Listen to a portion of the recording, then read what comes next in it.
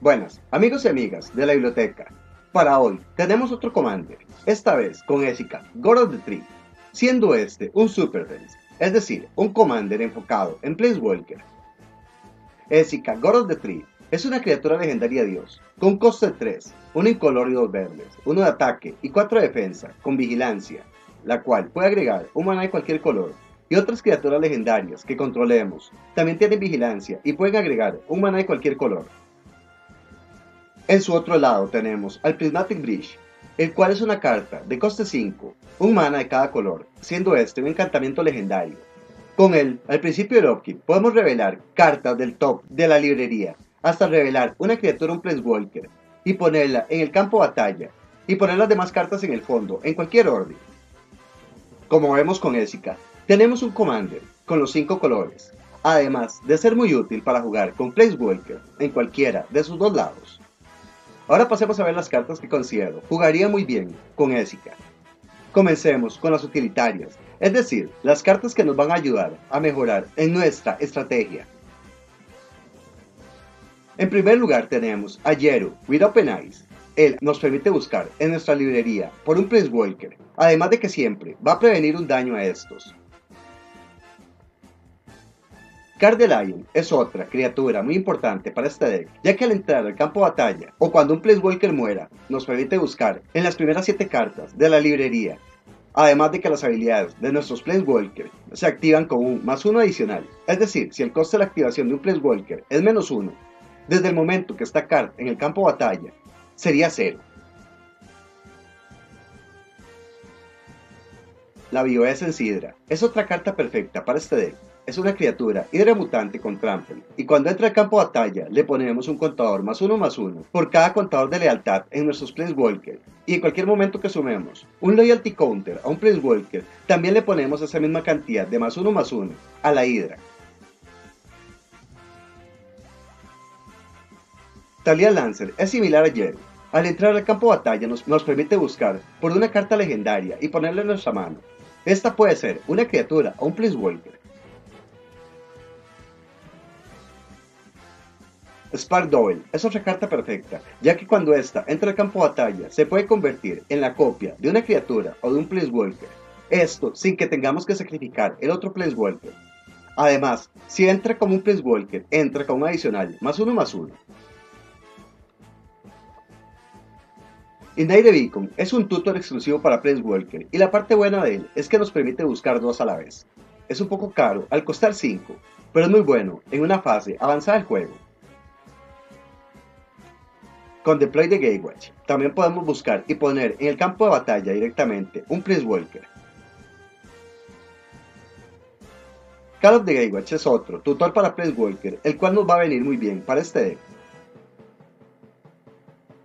Semester Send, la carta más nueva que vamos a ver acá, de Strixhaven, es una forma de salvar a nuestros Walker o criaturas en caso de un Wyvern.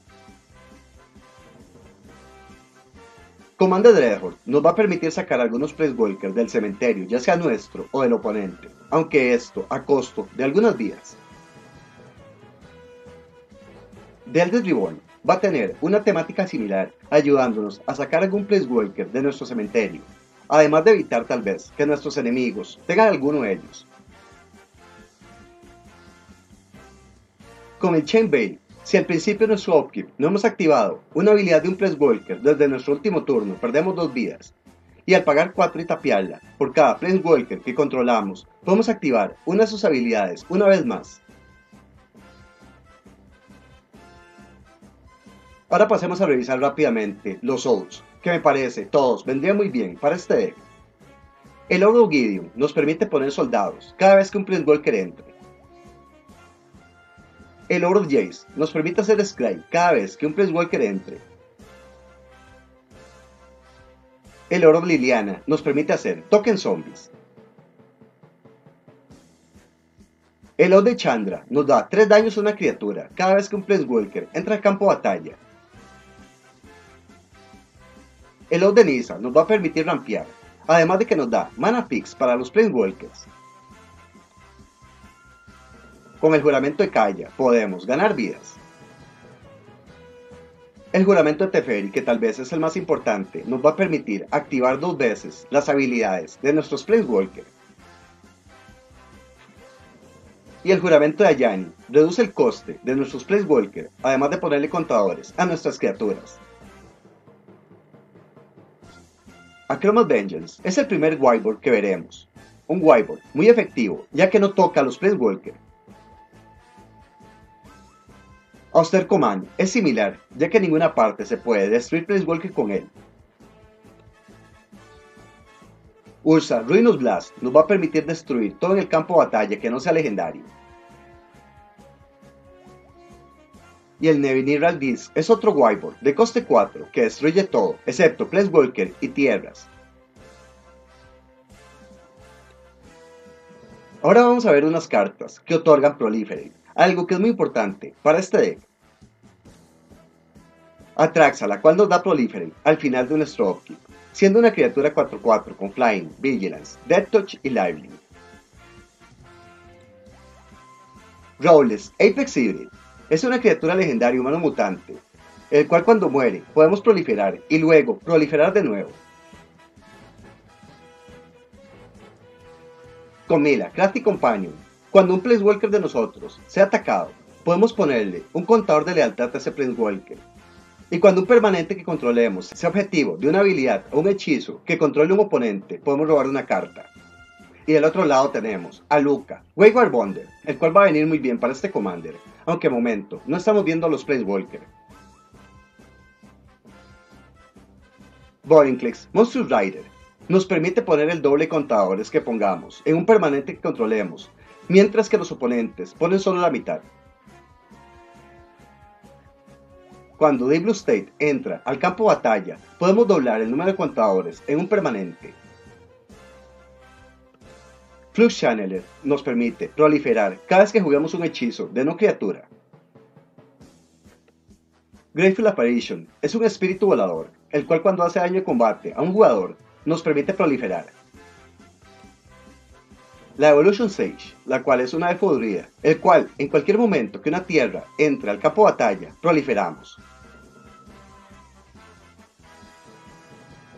El Trumminberg también es similar al Graceful Apparition, ya que cuando hagamos daño de combate a un jugador, proliferamos. Inexorable Tide es un encantamiento, el cual en cualquier momento que juguemos un hechizo, proliferamos. Tessered Gambit nos permite robar dos cartas y proliferar.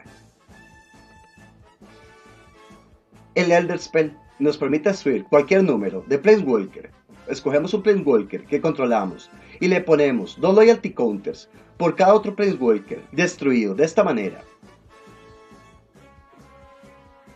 Contagion Engine es un artefacto, el cual cuando entra al campo de batalla, le ponemos un contador más uno más uno a cada criatura que controlan nuestros oponentes, y al pagar 4 y tapiarlo, proliferamos, y luego proliferamos de nuevo.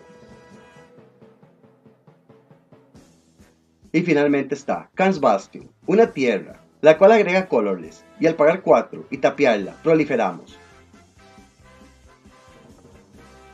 Y ahora sí pasemos a la parte interesante de este deck, los Planeswalker. En este deck puede ir casi cualquier Planeswalker, pero yo escogí los más importantes o los más útiles para acá para mostrarlos. Ya el resto como siempre depende de su imaginación y creatividad. A Yanni, The Great Hunter, le da a nuestras criaturas vigilancia y podemos ganar 3 vidas. Pero la parte importante de él se da al quitarle 2 Loyalty Counters, pues con esta ponemos un contador más 1 más 1 a cada criatura y un Loyalty Counter a cada Planeswalker que controlamos. Kashmina, Enigmatic Sage, nos permite hacer Scry y crear tokens, pero la parte importante de ella es que nos va a permitir que los demás Planeswalker tengan sus habilidades las cuales son con un más 2 hacer scry, con un menos x poner un counter fractal y ponerle x contadores más 1 más 1, y con 8 podemos tutoriar por un instant un sorcery. Shahili, su Blanc Artificer, nos permite crear servos cada vez que juguemos hechizos, no criatura. Sharkan de Masterless va a defender nuestros Walker al hacer que cada dragón le hagan un daño a las criaturas atacantes.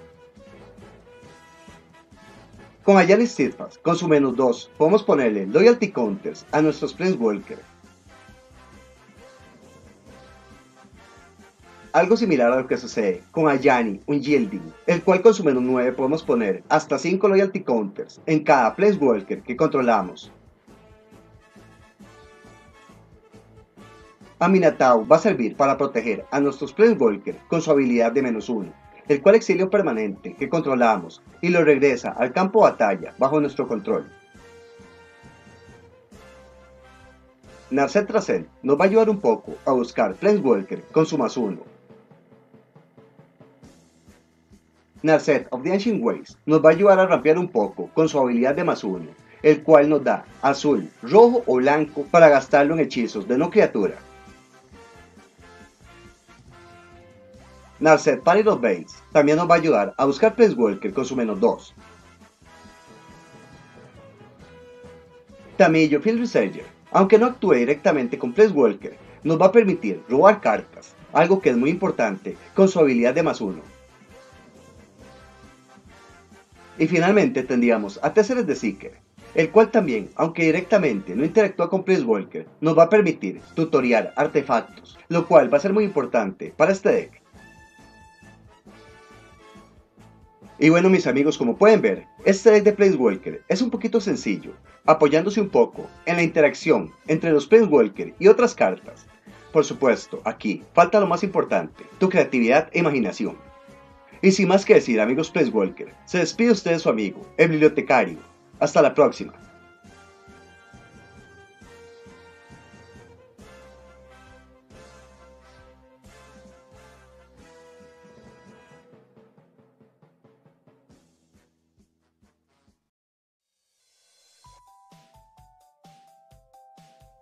Si te gusta Magic the Gathering, otros juegos de cartas intercambiables, juegos de rol y juegos de mesa, Cards and Dice es tu lugar.